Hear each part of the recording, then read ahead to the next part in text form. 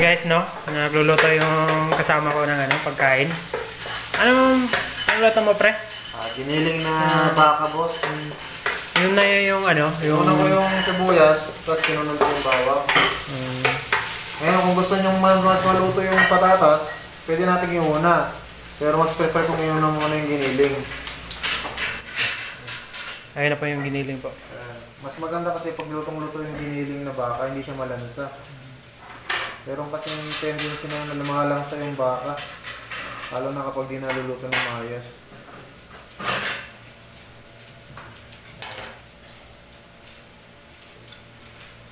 Nahihirapan siya magtanggal ng talo.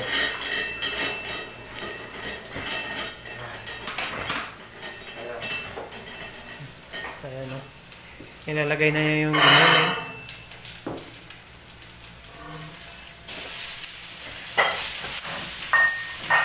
Yung mga baka mga guys.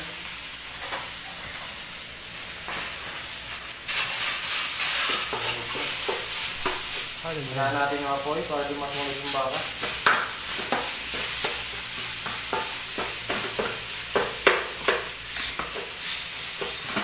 Rolling lang natin para huwag tumigil sa kawali.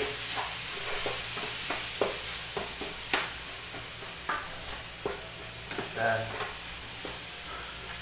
Turn mga guys, lagyan natin ng konting tubig.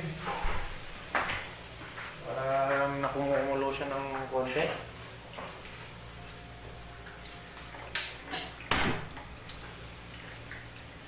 Huwag masyadong malakas yung apoy mga guys.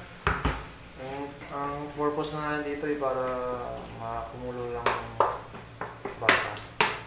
Kasi pag masyadong malakas yung apoy, mabilis na matutuloy yung tubig. Masusunod yung baka natin. Ayan, pag alam niyo pong kulang pa yung tubig, pwede natin dagdagan. Pero masyadong madami. Matutuyo rin naman yung tubig yung katagalan. Ngayon, habang naluluto na yung baka, pwede natin lagyan ng patatas. Para kasabay na maluto ng baka. Kasi pag huli nyo nilagay yung patatas, may tendency na luto na yung baka, yung patatas hindi pa. Okay, so guys, uh, maghihintay lang tayo mga 10 to 15 minutes. Hanggang sa mag-simmer yung sabaw. Tapos titimplahan na natin ng mga pampalasa. 15 minutes later. 15 minutes mga guys. Ito na yung tsura ng giniling natin. Medyo nabawasan na yung tubig niya. Ngayon pwede ko siya lagyan ng o timplahan ng paminta. For, uh, ito to optional lang to mga guys ha. Kung gusto niyo na maraming paminta or wag niyo lagyan ng paminta, optional lang po yan kung gusto po niyo. Tapos prefer ko po kasi na medyo manghang spicy yung putahe natin para mas ganahan tayong kumain. Then after ng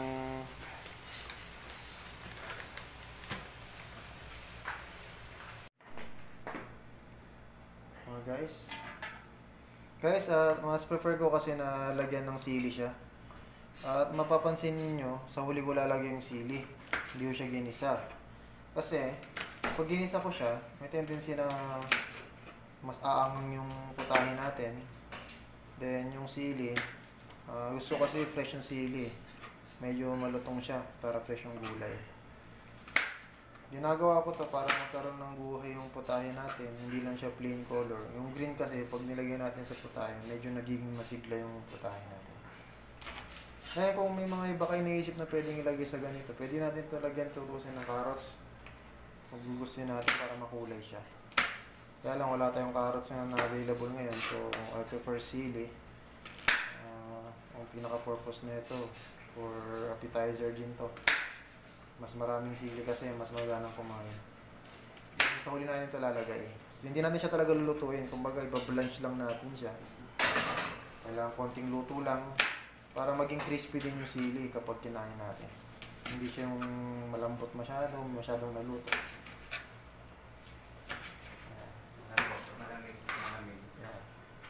So guys, no? Nakaready na yung sili natin. Hintayin lang natin na maluto yung putahe natin.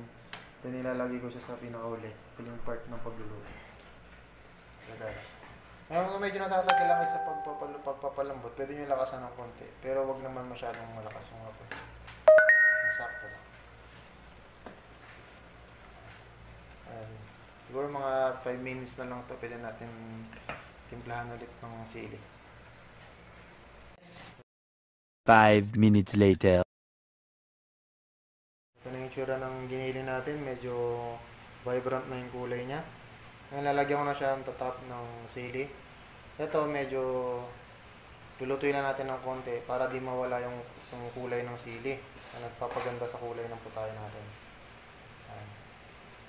Tsaka at the same time naman ang sili naman pwede natin kainin ng hilaw pati natin lutuin. So hindi talaga siya niluluto ng sobra-sobra. Guys, siguro mga 2 to 3 minutes, i-simmer natin siya hanggang sa mawala na yung tubig talaga. Pero kung gusto niyo na medyo sauce yung may sauce yung putahe natin, pwede niyo nang tanggalin ito. Pero sa akin, mas uh, prefer ko na medyo tuyo siya. Medyo dry. Pero sa mga gusto medyo masabaw o medyo creamy, medyo sauce, may sauce yung putahe nila, pwede nang panguin to. Then after that, 3 to 5 minutes, pwede na natin i-serve to.